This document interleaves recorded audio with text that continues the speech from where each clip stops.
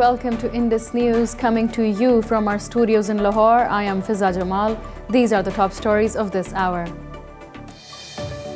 At least 42 people have been killed in US led coalition airstrikes on the last ISIS holdout in eastern Syria. A war monitor said 13 civilians, including three children, were also killed in the airstrikes targeting homes in the Deir ez-Zor province. Next, US and Taliban have agreed to hold another round of talks after making significant progress on vital issues in Qatar. Special Envoy Zalmay Khalilzad said that the final agreement must include an intra-Afghan dialogue and a comprehensive ceasefire. Meanwhile, US Secretary of State Mike Pompeo said that Washington is serious about pursuing peace in Afghanistan and bringing forces home. Pakistan has termed the development a major diplomatic victory, saying the Taliban agreed to the negotiations only due to Islamabad's efforts.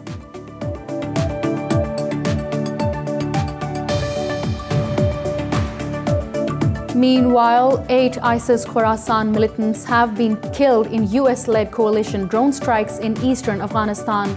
Afghan military said that the drone strikes targeted ISIS hideouts in Nangarhar province.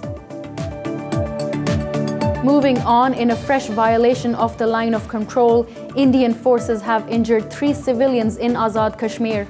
A government official said Indian troops targeted civilian population in Tatapani Goi sector of Kotli district during the intense five-hour firing. Meanwhile, a complete shutdown is being observed in Indian-occupied Kashmir to remember the 27 martyrs of the 1994 Kupwara massacre. In another development, Hezbollah has threatened to bomb Tel Aviv in response to Israel strikes in Syria. In an interview, Hassan Nasrallah said that resistance axes, including Hezbollah, Iran, and Syria, might retaliate against Israel.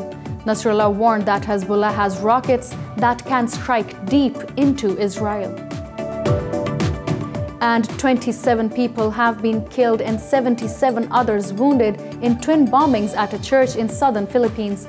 Security officials said that mostly civilians were killed in the attack, while seven soldiers were also among the dead. The first bomb went off inside the church on Jolo Island, while the second exploded in the car parking.